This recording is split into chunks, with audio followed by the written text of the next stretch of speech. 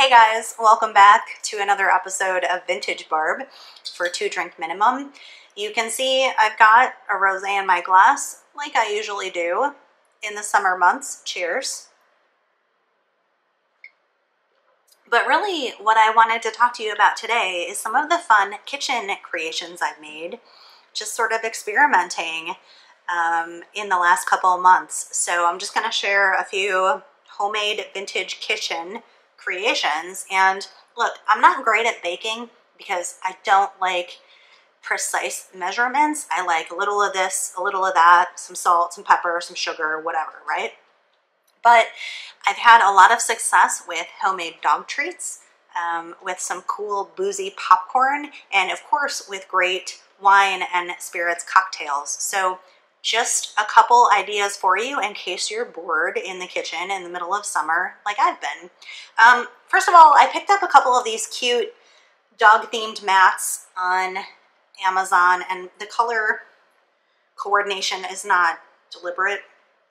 Um, but I have one that looks like this and one that's uh, dog bone shaped. And Layla and Duncan love these. Um, I use them for frozen treats as well as uh, baked in the oven and it's basically just experimenting. Um, the frozen ones are a little yogurt, peanut butter, canned pumpkin. Um, you can throw a banana in there and just throw them in this mat and put it in the freezer and a few hours later you've got delicious homemade crunchy treats and the dogs love those but these work in the oven too and you'll find a lot of recipes online so I'm not going to bother you with another one but basically throw some oats in a food processor grind them up put a bunch of ingredients that dogs like in there and bake it at about 325 for maybe 15 minutes.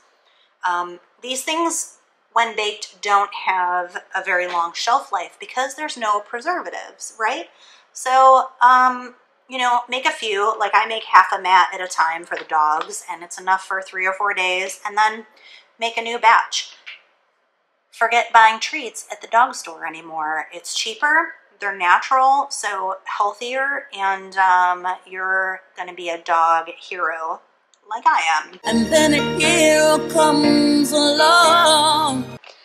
Speaking of being a hero, I made my first attempt today ever, which is a big surprise, at homemade fried chicken. Can you guys see how delicious? Delicious. I don't know. I wish you could smell it. Um, this is a weird recipe I found online via a college friend named Mike on Facebook who found Snoop Dogg's fried chicken recipe.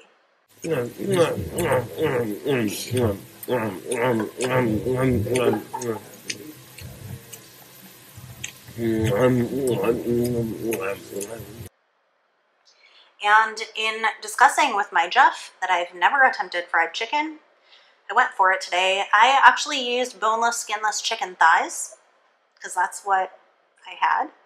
Um, I brined them first overnight and it's like flour and cornmeal, some baking powder, salt, garlic powder, cayenne, and the piece de resistance, the je ne sais quoi, if you will, is some mashed up potato chips.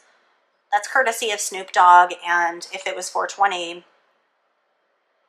you'd want these fried chicken tenders too. They were amazing. I oversalted them a little bit the first time, but I won't make that mistake again.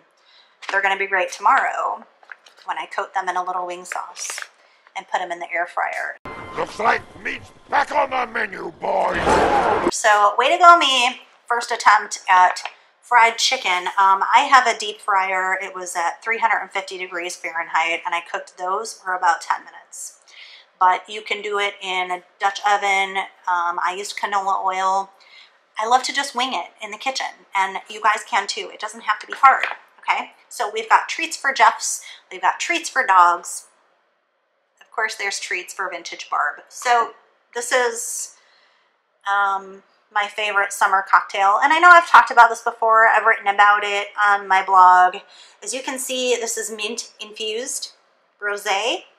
And the one I have here is Hess Select from California.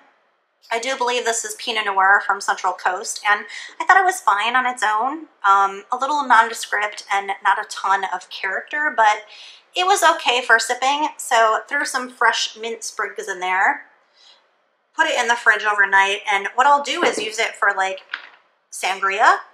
Um, you can use apricot brandy. You can use triple sec. You could use regular brandy, um, any of those things to fortify it. Like plantation makes an awesome pineapple rum. really good to mix in there. And then it's just about like your fizzy mixers. And I love stuff like this. Again, I've talked about these kinds of things before.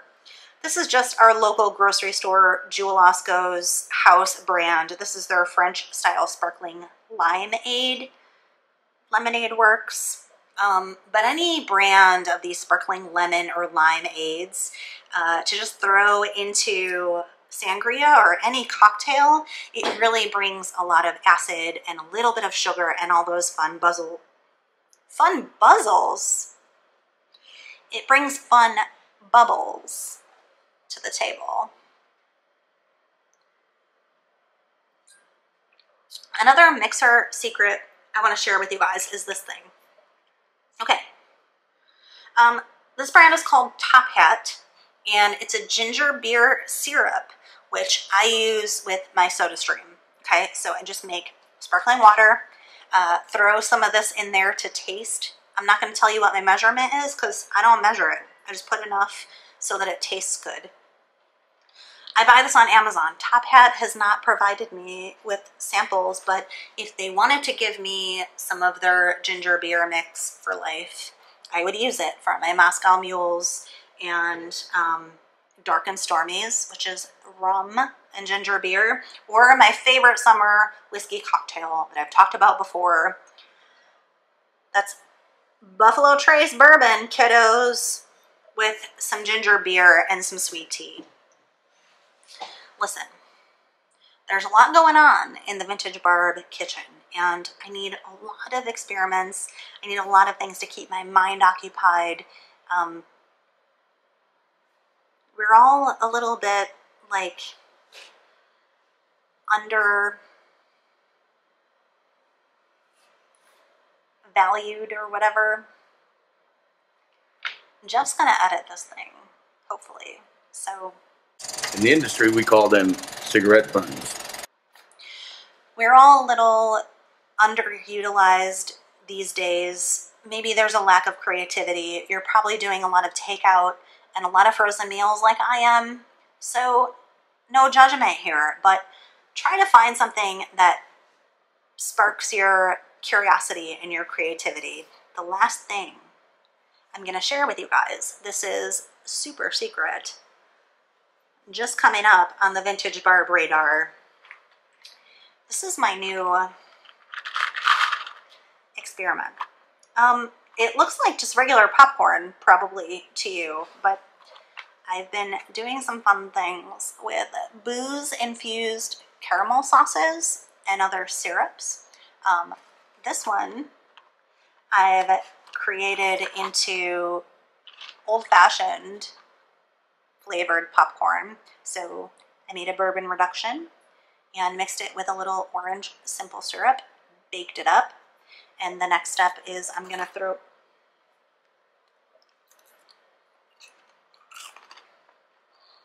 I'm gonna throw some dehydrated orange slices in there.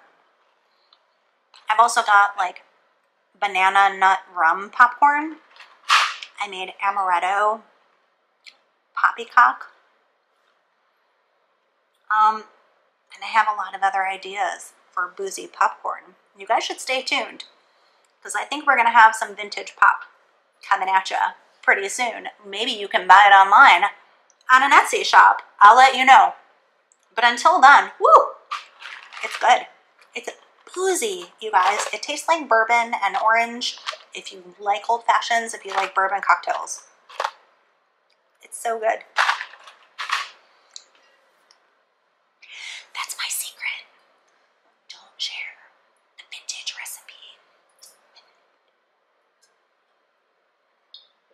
Luckily there's only like 20 some subscribers so I don't think it's to get out too quickly.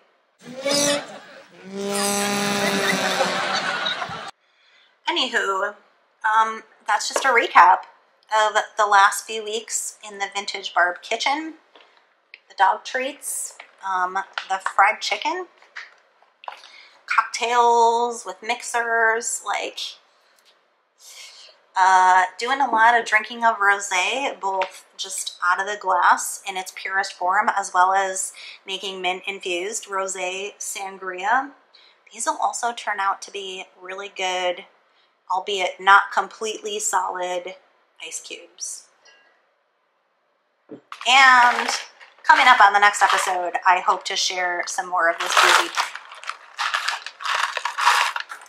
boozy popcorn with you. Stay tuned. Until then, I'm pretty tipsy. I'm so drunk I can barely see. I hope you are too. I'll see you next time on Two Drink Minimum. Cheers.